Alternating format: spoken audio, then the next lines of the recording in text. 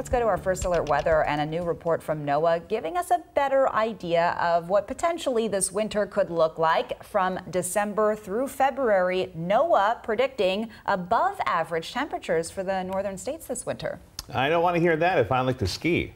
Yeah, you definitely don't. And we've been through a few La Nina winters here recently, meaning, yeah, colder than normal, wetter than normal conditions. But with the prediction of El Nino in place and really it being fairly strong, we do expect to at least be warmer than normal. As far as precipitation, it's going to be kind of a hit or miss thing. We probably are going to be closer to average, but you can see the eastern side of the state probably more below average and better chances of being below average as you go across Montana. The wetter weather looks to track farther south across the nation going through parts of California, through more of Utah, Colorado, and eventually down into the deep south where they're expecting more or well above average uh, precipitation into some of those parts of Alabama, Georgia, and Florida. Now, as far as uh, the temperatures, yeah, you can see right here, a lot of those deeper oranges have a higher confidence that conditions could be warmer than normal. Now, this is, of course, all just chances or at least percentages of how things could lean towards as we head into the months of December, January, and February. If you remember last year, we were thinking that California was going to be